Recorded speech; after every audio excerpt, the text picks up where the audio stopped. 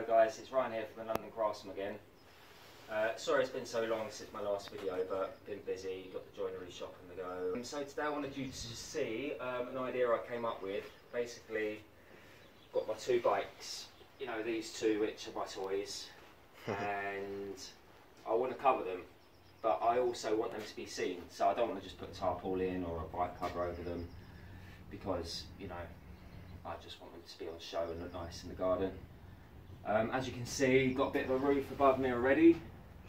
And so I've got a nice little triangle space here, which I'm trying to use. Obviously got this shed door here, which I don't really want to cover up. So if I build something in this space to cover them, still got to look through to see the bikes and I still need to access that door.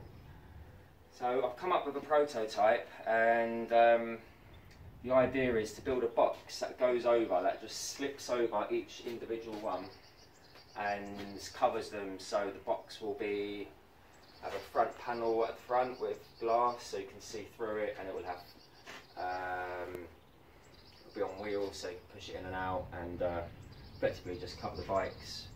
Once the boxes are on top or over the bikes then I can just put a dehumidifier in there, keep the moisture out, maybe put a little heater in there, put some LED lights to show them off. So this is one of the boxes. As you can see, it's on wheels. It's open at the back. It's got um, seals that go up against the back. So this is, is, only a prototype, you know. So I've used OSB because I had some in the workshop, and I had some wheels left over and some seals left over from another job. So all this is just a prototype to see what the next version is going to be, and see if it even even works. So as you can see on the inside, these wheels, I put them on little blocks here. You know, obviously they need to, this box needs to slip past the bike wheel, so I've made that small as possible and only used tiny little piano caster wheels. It doesn't sound great when you push it in and out, so I may change the caster wheels, but I, I plan the height of those wheels so I've got a seal under here. You might just be able to see it, there's a seal so no dust can get underneath, but it can still slide and let me turn it, push it place with it. So, you know, simple one man job. That just literally slides over the bike like that. It's got seals up against the back, so it seals up against the wall, um, and seals on the bottom, and that is literally it. So the only thing I really need to explain is this front panel. At the moment it's got no glass or perspex. If you can see, put a little rebate on the inside. So I've used 18mm construction OSB, everything, and I've done a 12 by 10 rebate glass to go in there. So once the glass is set in, it'll be nice and sealed.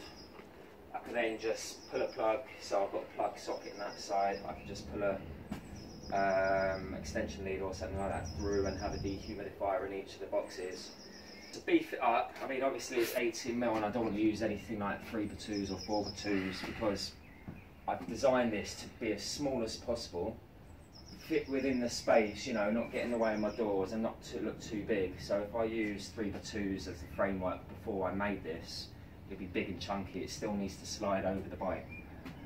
Um, so what I've done is there is a batten at the back here, a 2 by 1 batten, and there's a batten at the back here, so maybe you want to show. Very simple, just a batten here, you know, a two by one, just to give this a bit of strength. And as you can see underneath here, there's a batten that runs along to give this a bit more strength, otherwise it would sag a bit more. You could probably use something bigger for this one, but again, you'd have to make the box taller to slide over the bike. And I've designed it so I have to fold my mirrors in on the bike to be able to get this box in, yeah. which works perfectly. Another way is put a paddock stand on your bike, stand it up, and then you might be able to get the bike closer to the wall and make this box uh, more narrow. I'll show you the other box now. So yeah, as you can see the two boxes here, this one was the same, exactly the same as what I just showed you, and I've created a little bit of a gap so you know a bit of space to get the bikes in and out, and to simply get the bike out, all you need to do is out. You left a little bit of space here. You know, I haven't got the biggest garden in the world over here, but to get my bike out and outside the gates. as you can see, my roof area here. As